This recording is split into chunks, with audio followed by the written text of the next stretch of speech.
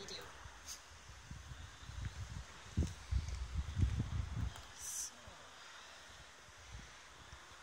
I went by.